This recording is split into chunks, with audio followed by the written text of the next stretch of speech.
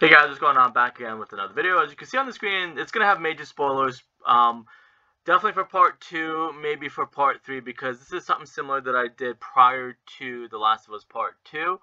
And I just like doing this stuff. I've been doing it all across the video game industry for about maybe 5 or 6 years now. Uh, kind of help with ideas, uh, getting into the new games, uh, maybe even the current game, if they're maybe looking for ideas across the internet. Uh, so this is what I have as far as an idea for The Last of Us Part 3.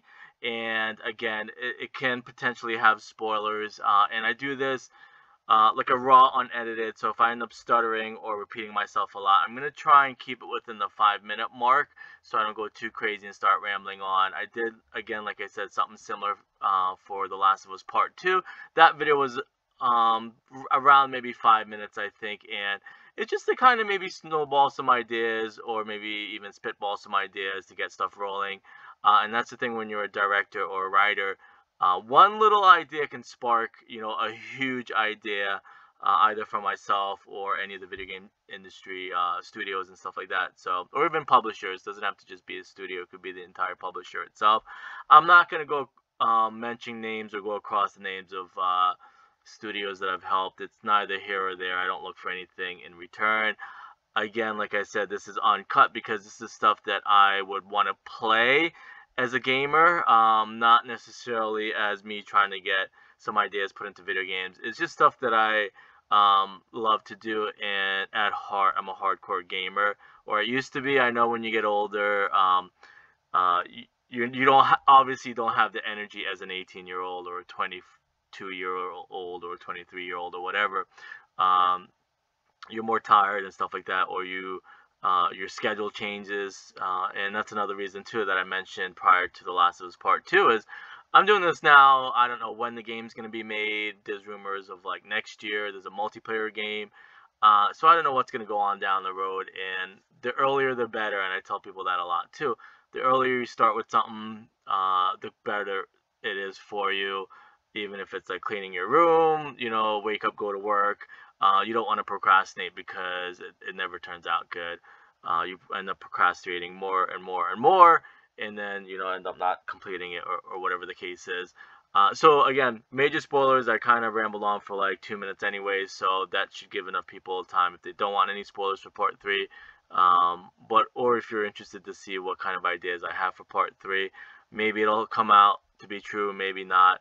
Uh, but it all definitely will have spoilers for part two. So the idea that I have now, and this might change again, I think Neil even said it and some of the writers said it, uh, whatever story they had for part two changed multiple times. It happens in movies, it happens in video games, it happens in books. Um, there's early scripts, um, you know, there's screenplays, early scripts, uh, and maybe different ideas come across um, that you come across every day and you end up using it or you know end up switching stuff or you know sparking new ideas and stuff like that. And the last game was like a 20 hour game so this should be enough information i think to kind of carry or, or get the game going for stuff that i would want in the game. So as you guys know in part two uh, joel ends up getting killed by abby.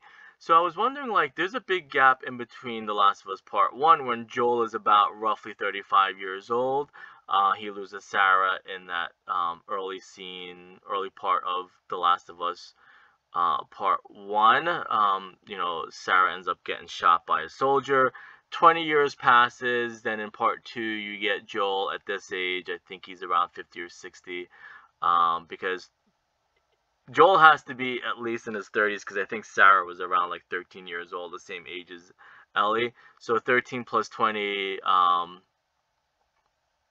um, you know, is like 55 years old. So I'm going to go with the 55 year old mark. So those 20 year gap of the alien, not alien invasion, of the outbreak, we don't know anything about that um, outbreak. I don't think he flashes back too much. I know they do in part two where him and Ellie are going to the museum and you get some of that. But what if we had like a whole entire game or majority of the game or half of the game where it's Joel's about to get killed by Abby, and I know it's cliche, but people love it and it works. Um, if his life literally flashes before his eyes and he ends up seeing, you know, himself or remembering himself uh, after Sarah dies. Maybe picks up after Sarah dies when he's 35. Because we don't see any of that. We don't see the the funeral. We don't see what happens to the body. We don't see, um, you know, anything like that. And that's even assuming Sarah died. But of course, he uh, she did, and that would be silly if she didn't. Would kind of uh, erase everything that happened after that. But um, to see how Joel reacted to that, or what happened to Joel a year after that, maybe uh, five years after that, because you literally have 20 year gap of what happened with Joel. I would want to I see. I know they used origins a lot in The Last of Part Two. You get to see the origins of Abby, how she came about what if they kind of maybe did something similar where we get to see Joel from 35 to 55 and then maybe Ellie the same thing we see Ellie um, a 10 year difference I think it's pretty much a 10 year difference about um, or 15 year difference I don't know exactly how old she is in The Last of Us Part 2 but um, same thing we can kind of tiptoe around or use the idea of what happened to Ellie from um, The Last of Us Part 1, the end, till, you know, The Last of Us Part 2, the beginning. Uh, I know you do get some of that mixed in with a lot of Abby, uh, and I think that's what people were upset about. It was like way too much Abby, they thought, which I thought was cool. Like, getting any backstory of a villain um, is amazing. Or what you think is the villain, because you can kind of pick sides of Ellie and, and Abby, who you think the villain is. Uh, but it would be a cool idea to get some flashbacks um, or like looking flashback on your life before you die. Maybe again it picks up um, instead of it picking up where Abby got started. Maybe it shows Joel from the age 35 to 55, and we kind of see like his origin story. Uh, I know we get a lot of that in part one. That was like the shock factor of like what happens to Sarah and how he became how he became. But maybe they can start filling in more of that, even if it's in the multiplayer game, because I, I don't see them doing a multiplayer game without some type of campaign or mini campaign attached to it. I think people will just complain maybe too many PTSD of uh, Black Ops 4. Um, Cold War had a campaign, Vanguard had a campaign. Um, Black Ops 3 had somewhat of a campaign too. So like in Black Ops 4, people were upset that it was just multiplayer in Battle Royale. Uh, unless they want to focus on Battle Royale and multiplayer for the new game that's coming out this year, the rumor is, or next year. But then again, everything has a chance of getting pushed back years and years and years. Maybe they'll start out with a multiplayer separate game, then say, hey, let's just clash the next title part 3 put the multiplayer in there also because that happens in Call of Duty a lot. That happens in a lot of video games where, um, okay, we started out with its own multiplayer game, which is the rumor right now for um, for Naughty Dog, and maybe they'll say, hey, let's just clash it with an actual campaign story, which is The Last of Us Part 3. Let's just, you know, insert the multiplayer Battle Royale mode into the uh, campaign or maybe they could break up the campaign into like chapters or, or DLCs. I know DLCs would upset a lot of people, and people are always looking for something to complain about. Um, or it's going to be too bulky, like maybe too huge of a, a file to have multiplayer, battle royale, and um, campaign all in one game. But again, it would be kind of cool to get maybe some of that Joel backstory, unless unless Naughty Dog and Neil are 100% done with the Joel story. Um, that's what I'm saying. Maybe it'll be like a mini little campaign that would fit per per perfectly in multiplayer.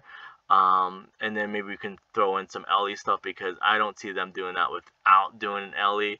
Uh, and then maybe throw in some Abby. So it, they could either save it for The Last of Us Part 3 or, um, again, same thing with Ellie where we see her um, in the original teaser trailer. And where she goes on her rampage to go find the people that killed Joel. Um, at the time, we didn't know who was dead, so it could be it could be multiple people that have died in the original 2016 uh, reveal trailer. I think rumors were that it was supposed to be Tommy. Uh, rumor is that maybe even Dina um, was one of the people that probably would have maybe died or something like that. Uh, in the original part two, but it ended up being Joel uh, when they ended up going all in uh, with with Joel. Um, so I'm I'm saying that would be a kind of a great idea for um, part three, where you get some of the story of what happened to Joel from the ages of like 55 uh, to 35, a backstory, maybe even go in reverse order, uh, something different instead of just going back to 35. I mean, that would be kind of crazy that, like, it would be crazy, but it'd be a great idea, and I think it would work out perfectly if they just show, like, um, I know people are, are saying if they see Abby, I mean, but you shouldn't listen to trolls, and I know Naughty Dog and Neil would never listen to trolls, but, like, um, because I know they said if they ever see, some of them said if they ever see Abby again, they're just done with the game. They're just gonna refund it, whatever. But how funny it would be if like you see the same thing playing out, or maybe Ellie maybe thinking more about Joel, uh, but she wouldn't have known Joel at the age of 35. Um, she didn't meet him for like another 20 years after that. Uh, so it would have to be either Tommy, maybe Tommy and Neil sharing story, or maybe uh, instead of Ellie and Joel, Ellie, and Tommy, maybe their early origin story uh, would be kind of cool, like a young version of them.